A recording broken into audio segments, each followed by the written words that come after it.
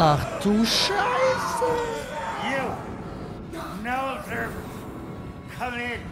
Ja, ich komme.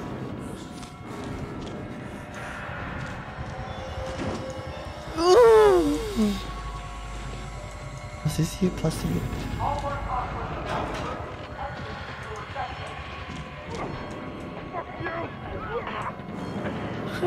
ich hab so keine Lust darauf.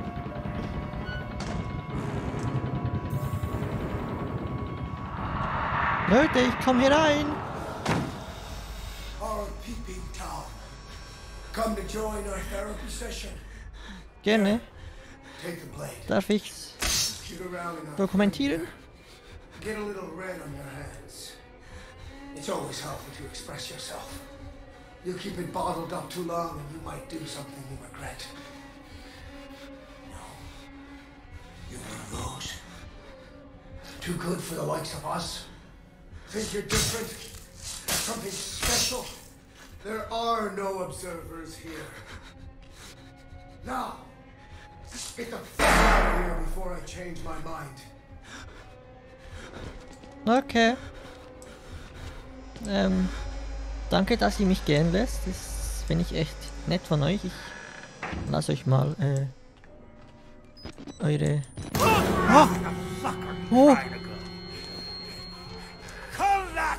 no! Will ich nicht! Will ich nicht! Verpiss dich! Alter, das fängt schon gut an. We get out of here through reception, and then Merc Tactical will clean it up. If they get here in time. We need help now. If we get them on the radio, the National Guard could be here with. We don't even know the radio works. It's shortwave. If the prison's got electricity, they've got signal, and the lights are on. Murkoff has it under control. Das Gefängnis. Yeah, I noticed. We need to get to that radio. Outside help doesn't come without outside attention. You want responsibility for every legally shaky thing you did on the Murkoff Company payroll? I know I don't. It's too late to worry about that. This just has to stop. You're scared. You're not thinking straight. Let me make something clear. You try to radio outside for help. I'm gonna give you a whole new something to be scared of. Are you threatening me? Yes. Ich habe keine gute Erinnerung an das Gefängnis. Ein Funkgerät im Gefängnis. Es gibt ein Funkgerät im Gefängnis. Kurzwelle. Sollte es Saft haben, dann bringe ich es zum Laufen. Dann wird es für mich arbeiten. Es gibt Hoffnung, Lisa. Ich komme zu dir nach Hause. Mein Fehler lag in der Subtilität, wie du schon immer gesagt hast. Ich dachte, wenn ich ein paar Informationen an Journalisten durchsickern lasse, dann wäre es sicher. Ich wollte nicht im Mittelpunkt stehen die ganze Aufmerksamkeit haben. Murkoff ist gefährlich, das weiß ich. Ich dachte, ich versuche es mit Subtilität, um deines Willens, Lisa, und für die Jungs. Aber ich hätte Murkoff bloßstellen sollen, zeigen sollen, was sie der Welt antun. Ich hätte es jedem und allen zuschreien sollen. Ich kann nicht sterben. Nicht bevor ich das Funkgerät erreiche. Sie können es jetzt nicht mehr vertuschen. Es ist kaputt. Zu gefährlich.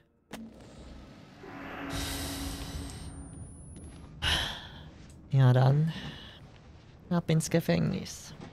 Ich habe keine Lust. Diese Lüftungsschächte, ich hasse sie. Irgendwann fährt man hier wieder herunter. Und ist im nirgendwo. Hallo? Bist du nett?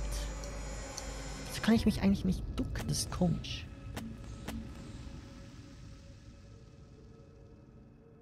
Ähm.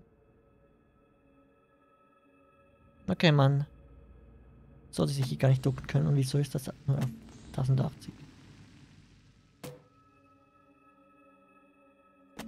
Komisch. Sorry, ich muss dich kurz umstellen da. Ähm. Spiel? Spiel?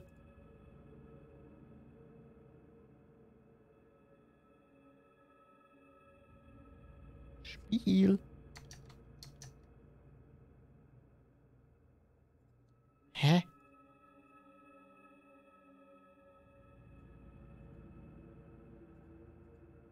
Ja gut, ähm. Wir sehen uns gleich wieder. Technische Schwierigkeiten immer das Beste. Ja, und somit herzlich willkommen. Ich bin Jens aus der Zukunft.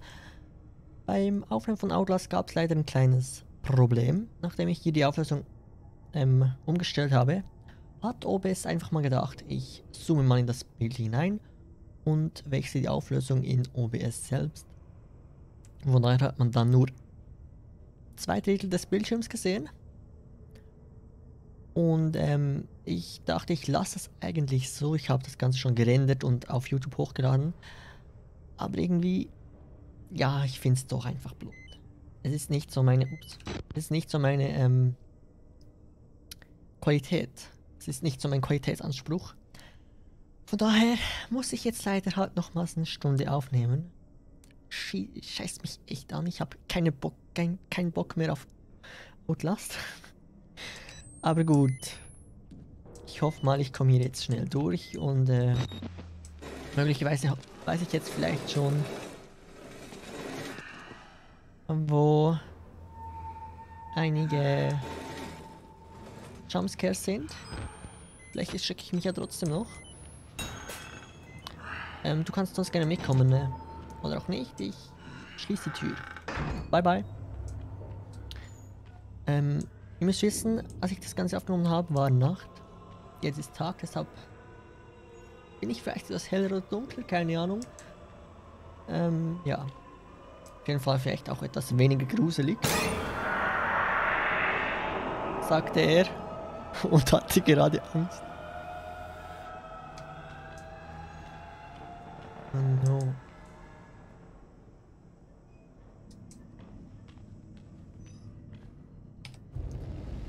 Really?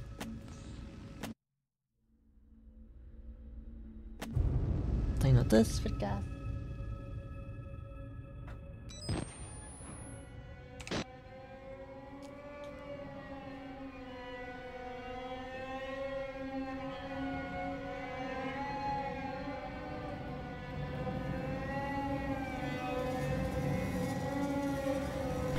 Ja, und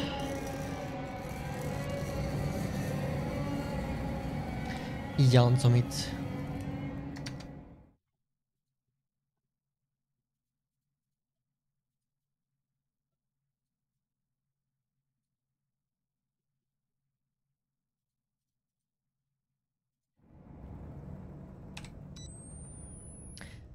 Ja, und somit herzlich willkommen. Ich bin Jens aus der Zukunft. Beim Aufnehmen gab es ein kleines Problem mit Outlast. Nachdem ich hier die, Auf äh, die Auflösung umgestellt habe, dachte ich OBS einfach mal so, ja gut, ich scheiß mal auf deine Meinung und ändere die Auflösung auch bei OBS selbst. Und dabei hat sich die auch mit zerschossen. Man hat bloß noch einen, ja, zwei Drittel des Bildschirms gesehen.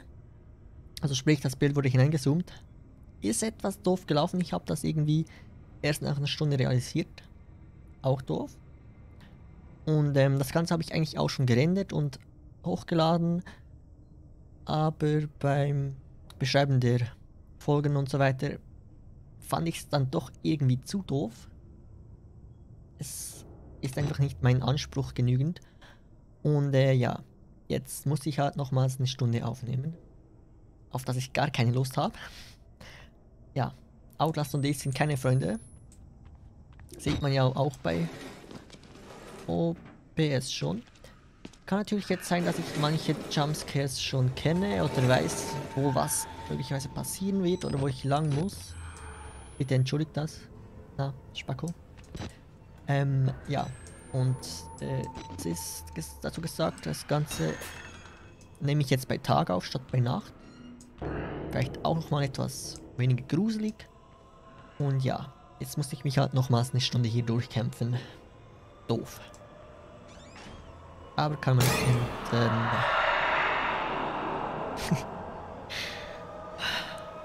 ja gut. Alles okay. Ist, ist alles gut. Wird alles gut. Was muss ich eigentlich machen? Gegangen zum Funkgerät im Gefängnis.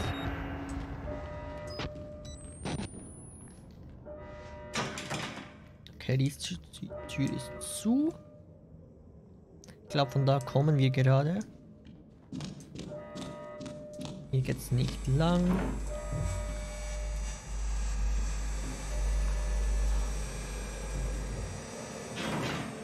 Was passiert da? Oh, ja, gut. Der schläft wohl. Help me, please. I'm a doctor. I need to get home to my. You're not security. I was. I'm a patient like you. Stole these clothes from a dead body I found. You gotta get me out of here. Please, just push the button. Open the door. Can mm-hmm. get out of here together. Ist klar. Aus dem Doktor wird ein Patient. Aber ich helfe dir mal. No! No,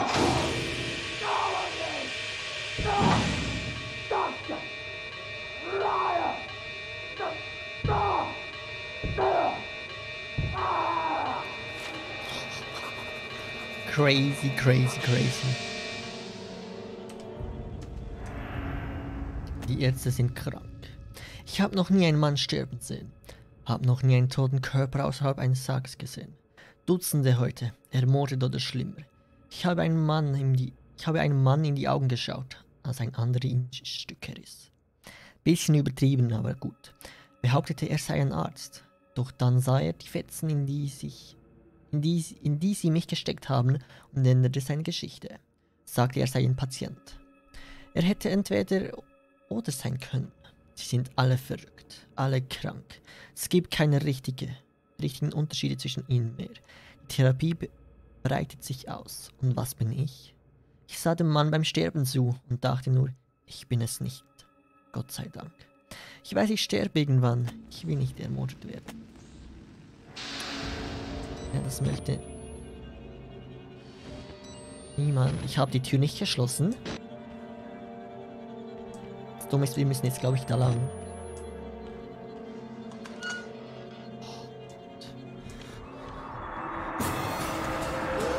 Was los? Junge, was los? Ich hasse die Musik. Oh shit, das war der Wallrider. Lass mich! No! Lass mich! Really? Was bist du für ein Arschloch? Ich wollte doch mitkommen. Ja. Kannst du laut sagen? Oder seufzen?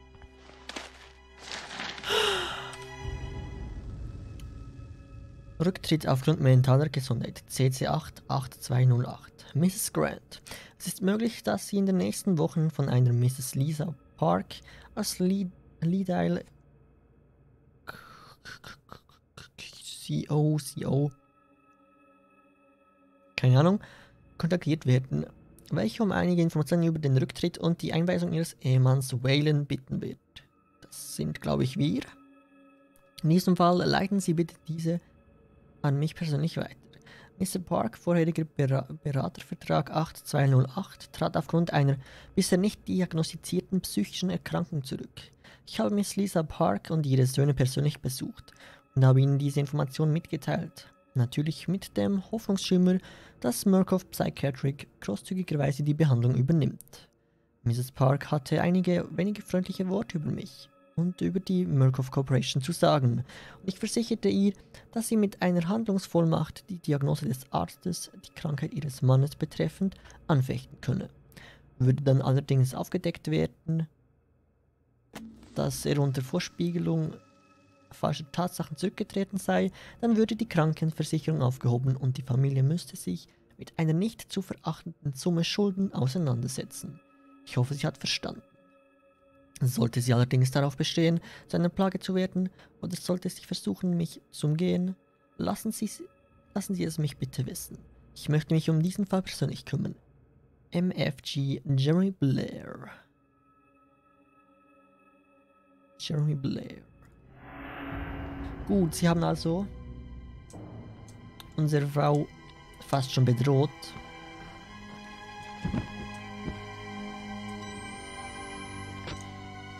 Oder besser gesagt, ähm,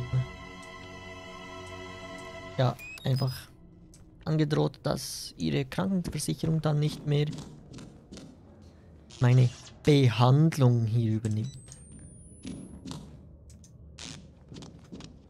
Hier geht's nicht lang.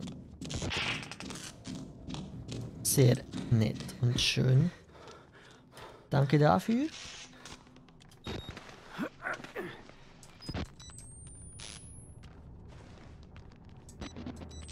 Könnt ihr gleich mal vergessen.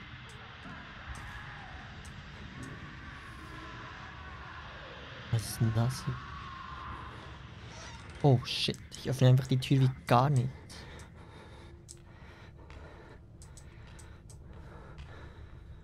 Muss ich hier durch? Okay, spielt wohl keine Rolle. Ah, sehr schön. Ich habe jetzt schon wieder Hühnerhaut. Gänsehaut. Hühnerhaut, was auch immer. Auf jeden Fall ist nicht schön, hier zu sein. Äh. Ich möchte kurz zurückgehen, nochmal schauen, ob ich da irgendwie was verpasst habe. Hier geht's nicht weiter. Dann muss ich wohl bei dem durchgehen. Oh. Ja. Gut. Wird immer besser. Oh, ein lecker Eintopf von Mama. oh Mann.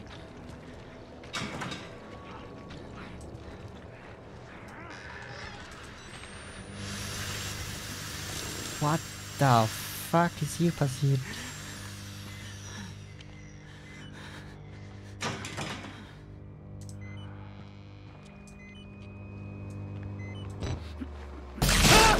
Oh. Junge. Ah, Das sieht nicht so aus. Schau dir mal seinen Kopf an. Den gibt's gar nicht mehr. Du hast seinen Kopf verschlungen. Du hast ihn explodieren lassen in der Mikrowelle.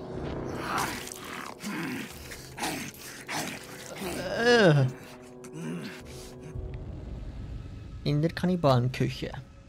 Bitte nicht darum. Bitte nicht darum, meinen Leichnam zu sehen, Lisa. Wenn ich sterbe, wenn du mit den Klagen durch bist und du dieses Material aus den Händen von Murkoffs Anwaltsarmee und angehörigen Auftragsmördern losreißen kannst, dann lass sie dir nicht meinen Körper zeigen. Beerdige ihn oder verbrenne ihn. Lass meinen Söhne nicht, lass meine Söhne sich an mich als Ganzes erinnern. Der Mann ist Menschenfleisch. Er sieht mich an und ich sehe Wut, ein wenig Verlangen, aber mehr als alles andere Hunger. Lass sie dir nicht meinen Körper zeigen.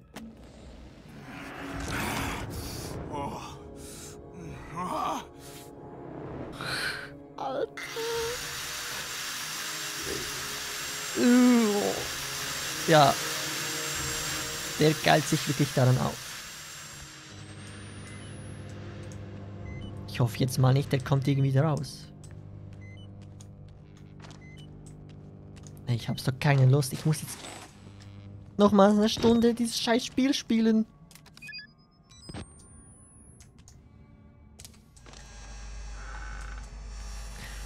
Run, Forest, run. I think it's safe. Can you climb up?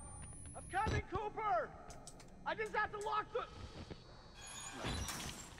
There. Uh, uh. Doch ein scheiß Schlüssel. Wir brauchen einen Schlüssel. Das ist ja das Liebste, was ich hab. Was, was, was, was? Uhuhu. Bye, bye, Junge. Wo lang? Weiß ich, habe das Spiel gespielt, aber ich habe keine Ahnung, wo lang. Ich habe dieses ganze Zeugs hier schon gespielt. Trotzdem keine Ahnung.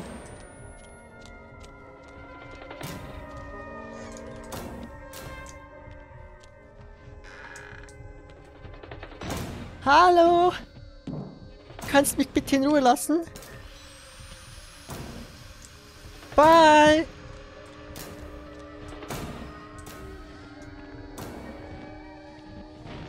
Na, come on. Sieht er mich überhaupt? Muss ich vielleicht dort lang, wo er, hin, wo er hergekommen ist?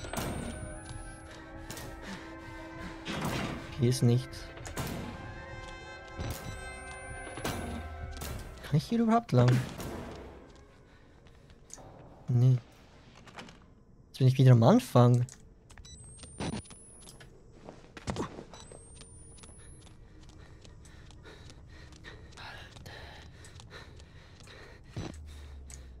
Renne einfach durch.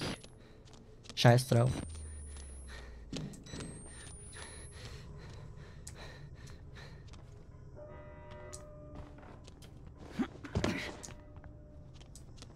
Keine Ahnung, wo er ist. Hier, hier, hier geht's hoch. Oh, oh, oh, oh, oh. Oh. Nimm die Batterie. La lass mich. Lass mich. No. Ja, dann hilf mir. Wieso redet der eigentlich Englisch? Ey, hau doch ab. Verpiss dich. Äh, da rennt jemand. Schlüssel. Oh, oh, oh, oh. Hier ist keine Tür.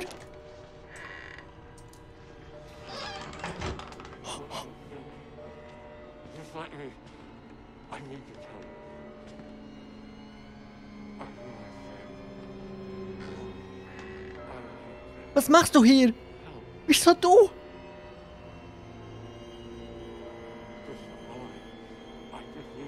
Ich muss zurückrennen. Ich,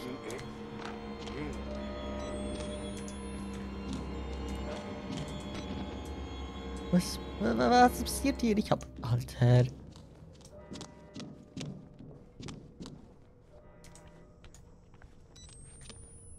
Äh. Hier lang, oder? Oh! Ich glaube, dort geht's hoch, oder? Run, Forrest! Mach die scheiß Tür auf! Geh durch! Schließ ihn!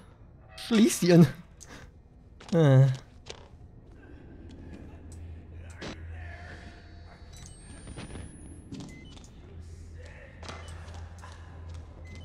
Wo willst du hin? Kommst hier nicht raus? Ist dir klar hoffentlich.